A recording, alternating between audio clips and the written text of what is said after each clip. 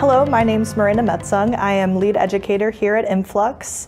Uh, and we've made a lot of uh, different strides in the education field, such as partnering with more uh, plastics engineering programs in schools, and also partnering with the AIM Institute up in Erie, Pennsylvania. Uh, we've actually partnered with AIM to provide two iMFLUX courses that could either be held at iMFLUX uh, in Cincinnati location or up in Erie, Pennsylvania.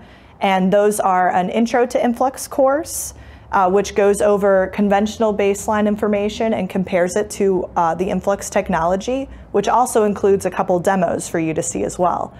Um, and then there's also the complete applied iMFLUX course, that uh, goes into the actual processing of iMFLUX and would develop any person to go through and being able at the end of the week to create an iMFLUX process and as well as maintain them.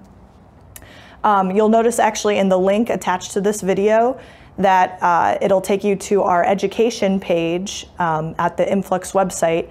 And on this page, you could actually get more details about these courses that I just explained, um, as well as how to enroll, uh, also in that link, you'll find a, a, link to our YouTube channel.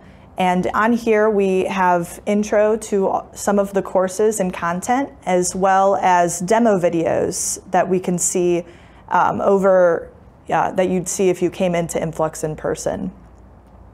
Uh, if you're interested in any other content, please feel free to reach out to iMFLUX and we can get you set up.